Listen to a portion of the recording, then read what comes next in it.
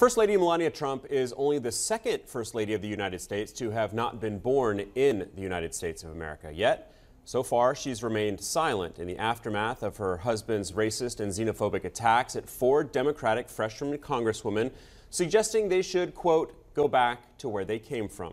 Now, we should note that the First Lady, Melania Trump, has been a U.S. citizen for a shorter amount of time than all four of those women targeted by Trump, three of whom were born in the United States. Now, Melania Trump was born in Slovenia. She got her U.S. citizenship in 2006, a year after she married the now president.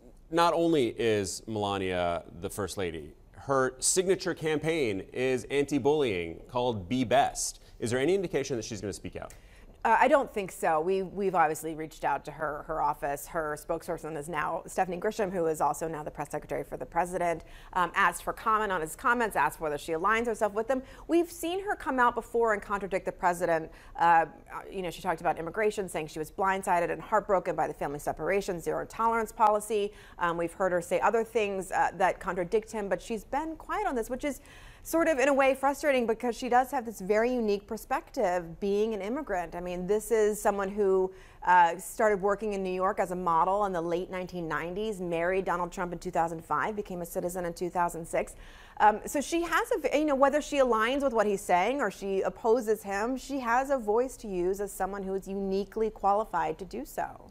And as an immigrant, uh, we, have heard so many people in, in the wake of these comments come out with their own stories of when they were told to go back home. And in the vast majority of these cases, these are minorities and people of color. Mm-hmm. Do you think that there's a chance that, given the fact that she's been around for so long, been in the States for so long, that someone has probably at some point told her the same thing go back to your country. I mean it could be possible. Melania trump is very independent and she sort of uh, fiercely defends her her path in life. We've watched her we've heard her defend her modeling career. We've heard her uh, defend being a mother and putting her child first. Another thing that she's vehement about is that she went through the immigration process to america very legally lawfully says she followed all the steps. So i don't know what her personal history is but it's it's curious and unfortunate that she's uh, perhaps being being quiet at this pivotal moment. Why is income inequality so important to you? It's it's huge. It's the it's the game changer that we're living in right now. It's because we're creating a, a super class so far above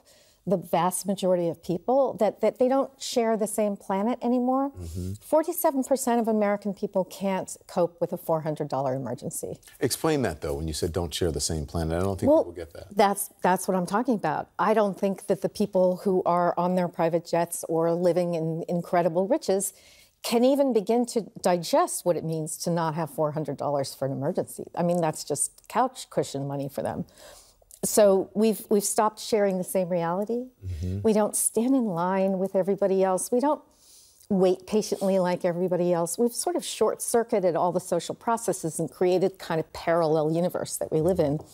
And that is not good for solidarity. It's not good for opportunity. We've eroded all the paths to the American dream that my grandfather and great uncle took.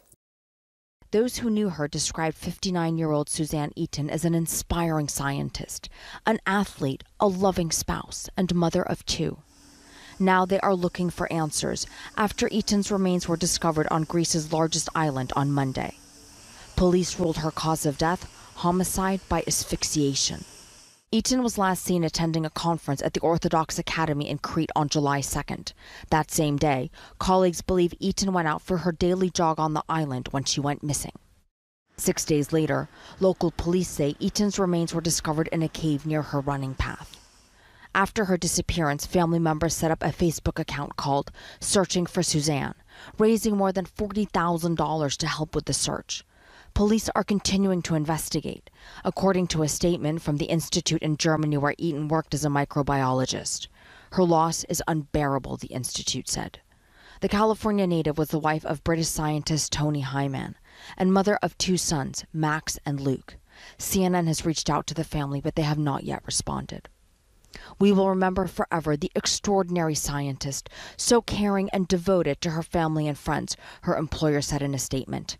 We remain in disbelief of this shocking and awful tragedy.